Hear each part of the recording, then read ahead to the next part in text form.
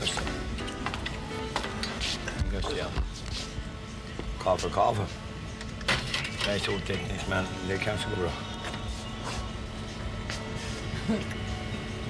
Trycka där uppe. Ja, du ser hur teknisk jag är. Ja. Ja, precis. Vilka tekniska hjälp?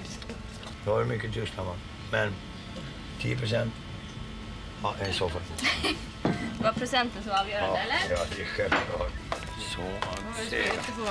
Happ, oj, oj, oj, oj. Tyst, tala inte med den som går här. Happ, happ, happ, Elise. Nu sätter jag mig här för jag pallar inte. Inte en bit till. Åh. Oj, oj, oj. Frugan först. Yes. Yes, yes. Okej, kära flicka, du. Katmandu. Katmandu. Fyret. Och dessutom världens kortaste fräckis. Det gick i dörren. Tänk att komma i kläm där då. Gurra. Gurra, men du. Katmandu. Kära flicka. Det ska nog gå bra det här ska du se. Ja, jag tror det. Jag blev angripen av två man. Av två mot en. Och, eh,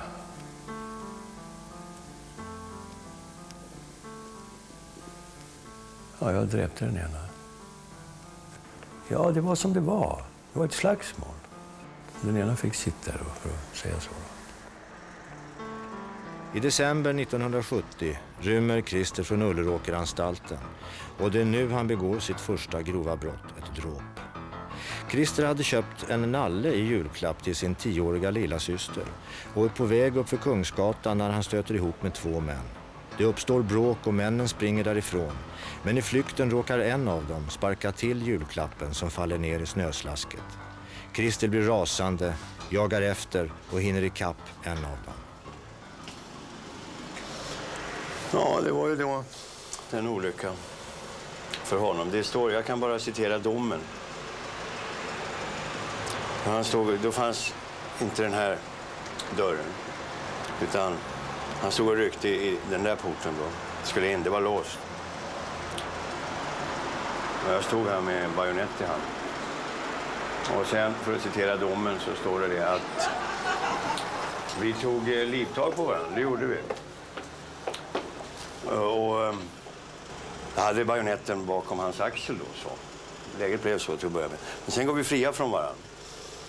Och då är han närmare Kungsgatan än jag. Och med tanke på det så är det väldigt konstigt att han går emot mig. Han borde ha stuckit då, rimligtvis. Det gör inte han.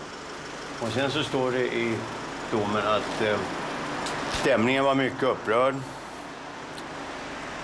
Och Petterssons avsikt var inte att döda, men han eh, ville ja, göra mannen någonting. Och därefter så, så kan inte Pettersson exakt redogöra för vad som har hänt. Så det var dråp i hastigt mod. Ja, hastigt och hastigt. Jag var anhållen för mord. Åklagaren gjorde gällande att det var mord om man sprang efter någon. Men eh, jag blev dömd för.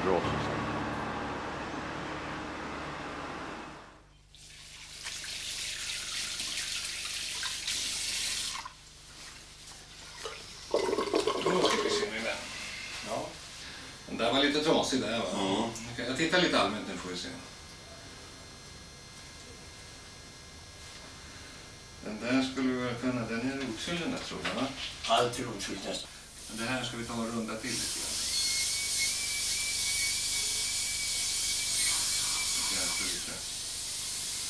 Trevligare.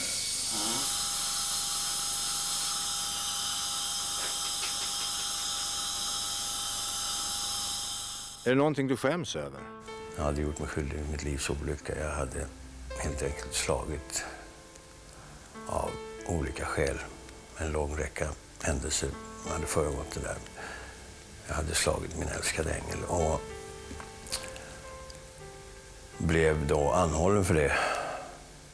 Och i, det var i oktober 92.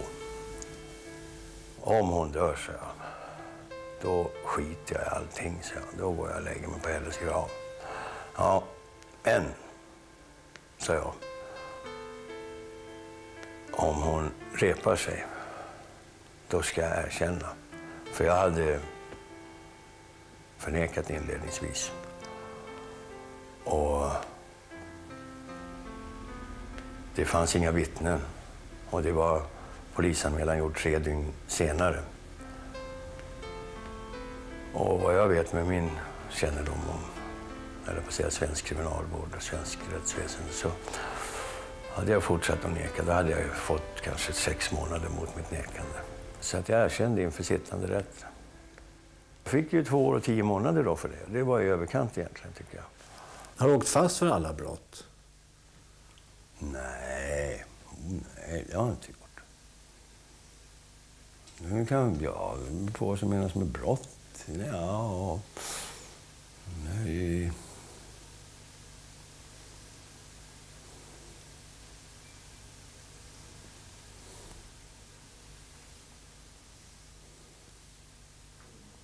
Nej, det har jag inte gjort.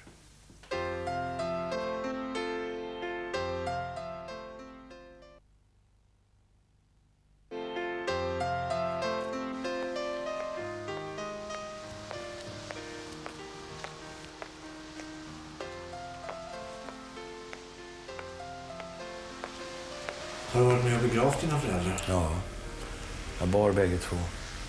Och eh, mammas begravning, då, då hade jag bett att få bära.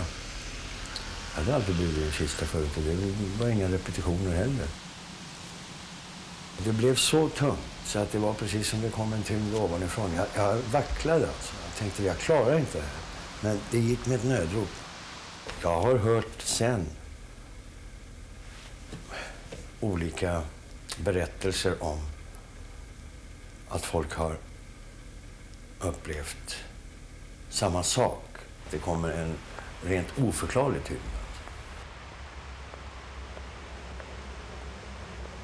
Har du samtal med Gud? Nej, men jag ber ibland. Det gör jag. Dock inte så mycket för egen del, men det händer att jag ber för andra människor.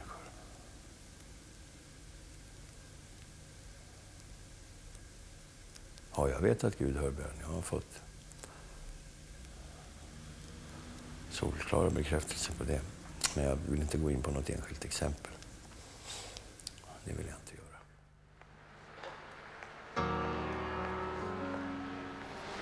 På denna plats mördades Sveriges statsminister Olof Palme den 28 februari 1986. Var det du, Christer, som mördade honom? Nej, det var det inte. Och det vet egentligen alla människor, tror jag. Folksjälen har inte fel.